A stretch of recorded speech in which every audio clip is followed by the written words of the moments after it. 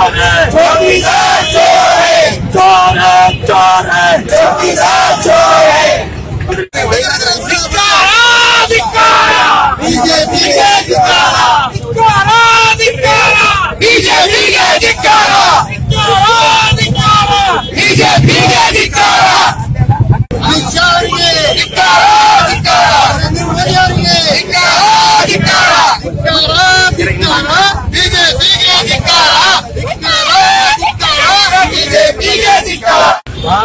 ದೇಶಕ್ಕೆ ಮಹಾತ್ಮ ಗಾಂಧಿ ಹಿಡಿದು ಸಾವಿರ ಸಂಖ್ಯೆಯಲ್ಲಿ ತಮ್ಮ ಪ್ರಾಣವನ್ನೇ ಕೊಟ್ಟು ಸ್ವಾತಂತ್ರ್ಯ ದೊರಕಿಸಿಕೊಟ್ಟ ಮೇಲೆ ಹತ್ತಾರು ಜನರು ಮುಖ್ಯಮಂತ್ರಿಯಾಗಿ ಹೋಗಿದ್ದಾರೆ ಪ್ರಧಾನಮಂತ್ರಿಯಾಗಿ ಹೋಗಿದ್ದಾರೆ ಈ ದೇಶದಲ್ಲಿ.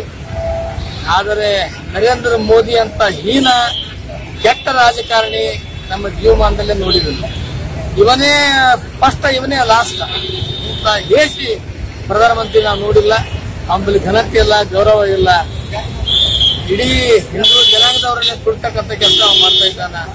ಸಂವಿಧಾನವನ್ನೇ ಸುಟ್ಟು ಹಾಕ್ತಕ್ಕಂಥ ಕೆಲಸ ಕೂಡ ಮಾಡ್ತಾ ಇದ್ದಾನೆ ಅದೇ ಪ್ರಕಾರ ಕರ್ನಾಟಕ ರಾಜ್ಯದಲ್ಲಿ ಯಡಿಯೂರಪ್ಪ ಮುಖ್ಯಮಂತ್ರಿ, ವಾಮ ಮಾರ್ಗದಿಂದ ಮುಖ್ಯಮಂತ್ರಿಯಾಗಿ ಎರಡು ದಿನದಲ್ಲೇ ತನ್ನ ಪದವಿಯನ್ನು ಕಳೆದುಕೊಂಡ ಮೇಲೆ ಭವಿಷ್ಯವನ್ನು ಮಾನವತೆ ಇತ್ತು, ಮನುಷ್ಯತ್ವನೇ ಇತ್ತು ಅಂತಂದ್ರ ಅವರು ಒಂದೇ ಮರುದಿವಸೇ ಅವ್ರ ರಾಜಕೀಯ ನಿವೃತ್ತಿ ಹೊಂದಬೇಕಾಗಿತ್ತು.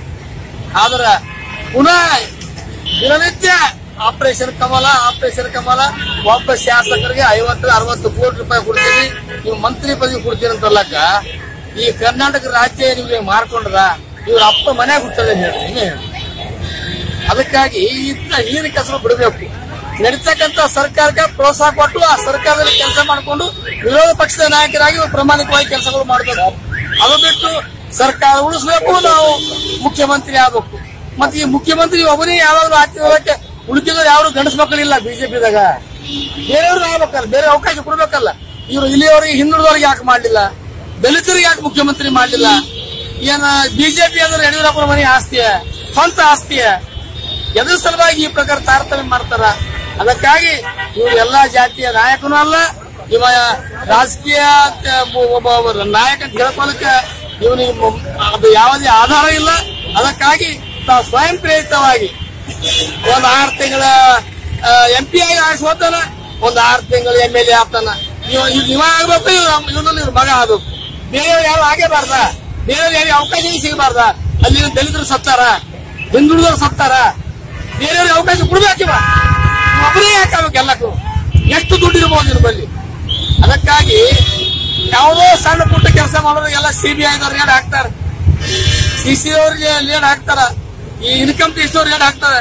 ಇವ್ರು ಅರವತ್ತು ಕೋಟಿ ಗಂಟೆ ದುಡ್ಡು ಖರ್ಚು ಮಾಡಿ ಎಂ ಎಲ್ ಎ ಖರೀದಿ ಮಾಡೋರು, ಇವ್ರು ಇವ್ರಿಗೆ ಯಾಕೆ ರೇಟ್ ಹಾಕ್ಬಾರ್ದು? ಇವ್ರ ದುಡ್ಡು ಎಲ್ಲಿ ಬರುತ್ತೆ ಅನ್ನೋದು ಯಾಕೆ ರೂಪಾಯಿ ಮಾಡಬಾರ್ದು? ಒಂದು ಬಾಟ್ಲಿ ಮುನ್ನೂರು ರೂಪಾಯಿ ಕೊಟ್ಟು ನೀರು ಕುಡಿದು ಅವ್ರು ಬಿಜೆಪಿ ಶಾಸಕರು ಅಲ್ಲಿ ವಾಸ್ತವ್ಯ ಮಾಡ್ಯಾರ. ಇವ್ ಎಲ್ಲಿ ಬಂದು ದುಡ್ಡು ಈ ಮಕ್ಕಳಿಗೆ? ನಮ್ ಸರಿ ತಿರುಗಾಡ ನೋಡಿನೇ ತಿರುಗಾಡ್ದವ್ರು ಇವರೆಲ್ಲ.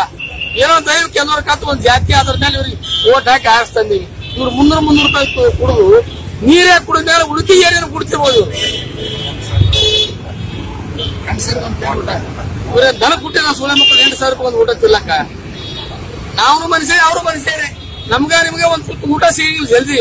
ದುಡಿಯತನ ಇವ್ರು ನಮ್ಮಿಂದ ಆರಿಸಿ ಹೋಗಿ ಒಳ್ಳೆ ಕೆಲಸಗಳು ಮಾಡ್ರಿ ಜನಪ್ರತಿನಿಧಿ ಆಗ್ರಿ, ಸಮಾಜಕ್ಕೆ ಒಳ್ಳೆ ಸಂದೇಶ ಕೊಡ್ರಿ, ಸಮಾಜ ಬೆಳವಣಿಗೆ ಆಗಲಿ. ಅಂಬೇಡ್ಕರ್ ಅವರ ತತ್ವ ಸಿದ್ಧಾಂತಗಳು ಜಾರಿಗೆ ತರ ಅಂತ ನಾವು ಹೇಳಿ ಕಳಿಸ್ತಾರ ಇವ್ರು ಹೊಸ ಮಂದಿ ಕಾಲಕ್ಕೆ ಮುನ್ನೂರು ರೂಪಾಯಿ ಒಂದು ಪಾಟಿ ನೀರು ಕೊಡ್ಲಿಕ್ಕೆ ನಮ್ಮ ರಾಜ ಹೇಳ್ದ ರಾಜು ಹೇಳ್ದಪ್ಪಲೆ ಎಂಟು ಸಾವಿರ ರೂಪಾಯಿ ಆಯ್ತು. ಎಂಟು ಸಾವಿರ ರೂಪಾಯಿ ಒಂದು ಊಟ ಅದಾಗ ಬಂಗಾರ ಇರ್ತದ. ಬಂಗಾರ ಬೆಳ್ಳಿ ಕತ್ತೆ ನುಗ್ತಾರ. ಏನು ರೊಕ್ಕ ನುಗ್ತಾರ ಈ ಕಳ್ಳರು? ಅದಕ್ಕಾಗಿ ಮುಂದಿನ ಯಾವ ಕಾಲಕ್ಕೂ ಬಿಜೆಪಿ ಬರಂಗಿಲ್ಲ. ಹಿಂದುಳಿದವರು, ದಲಿತರು ಎಲ್ಲರೂ ತೆಗೆದುಕೊಂಡು ಹೋಗ್ತಕ್ಕಂಥ ಪಕ್ಷ ಕಾಂಗ್ರೆಸ್. ನೂರು ಗೋಲಿಗಳನ್ನು ಹಾಯ್ತು. ಇಂದು ಶ್ರೀಮತಿ ಇಂದಿರಾ ಗಾಂಧಿಯವರು ಈ ದೇಶಕ್ಕಾಗಿ ಮೃತಪಟ್ಟರು ರಾಜೀವ್ ಗಾಂಧಿ ಭಯೋತ್ಪಾದಕರಿಂದ ಅವರು ಕೂಡ ಜೀವ ಕೊಟ್ಟರು ಇವ್ರ ಬಳಿ ಏನಾಗಿದೆ? ಇವರಿಗೆ ಜೇಟ್ಲಿ ಒಂದು ಕಿಡ್ನಿ, ಆ ಸುಷ್ಮಾ ಸ್ವರಾಜ್ ಎರಡು ಕಿಡ್ನಿಗಳ ಬದಲಾವಣೆ ಮಾಡಿದ್ ಬಿಟ್ಟು ಮತ್ತೆ ಏನು ಮಾಡಿದ ಕೆಲಸ ಇವರು? ಅದಕ್ಕಾಗಿ ಮೊದಲು ಇವ್ರು ಹೋಗಬೇಕು. ಎಲ್ಲ ಎಲ್ಲ ಕಡೆ ಬಿಡುಗಡೆ ಹಾಕಬೇಕು ಎಲ್ಲ, ದಯವಿಟ್ಟು ಇವರು ಈಗ ಇದರಿಂದ ಹೋಗಬೇಕು. ಕರ್ನಾಟಕ ರಾಜ್ಯದಿಂದ ಹೋಗಬೇಕು. ಸ್ವಯಂ ಪ್ರೇರಿತರಾಗಿ. ನಾವು ರಾಜೀನಾಮೆ ಕೊಟ್ಟು ಹಿಂದುಳಿದವರು, ದಲಿತರು, ಬೇರೆ ಜನರು ಅವಕಾಶಗಳ ವಂಚಿತರಿಗೆ ಅವಕಾಶ ಕೊಡಬೇಕು. ಅವರು ಕೂಡ ಮುಂದಿನ ದಿನಗಳಲ್ಲಿ ರಾಜಕೀಯದಲ್ಲಿ ಮುಂದೆ ಬರ್ತಕ್ಕಂಥ ಕೆಲಸ ಪ್ರಾಮಾಣಿಕವಾಗಿ ಮಾಡಬೇಕು.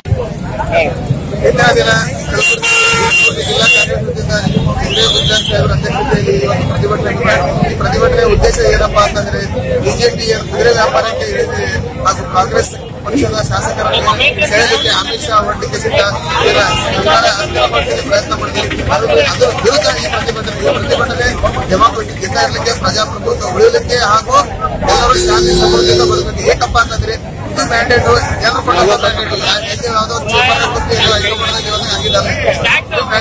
ಕರ್ನಾಟಕ ಜನತೆ ಅರವತ್ತು ಕೋಟಿ ಜನತೆ ವೋಟ್ ಮಾಡಿಕೊಟ್ಟಂತ ಮ್ಯಾಂಡೇಟ್ ಅಲ್ಲಿ ಬಿಜೆಪಿರುವಂತ ಜೆಡಿಎಸ್ ಮತ್ತು ಕಾಂಗ್ರೆಸ್ ಅಲಯನ್ಸ್ ಸರ್ಕಾರಕ್ಕೆ ಅಭದ್ರಗೊಳಿಸಬೇಕಂತ ಬಿಜೆಪಿ ಉದ್ಧಾರ ಮಾಡ್ತಿದೆ ಅದರ ವಿರುದ್ಧ ನಮ್ಮ ಪ್ರತಿಭಟನೆ.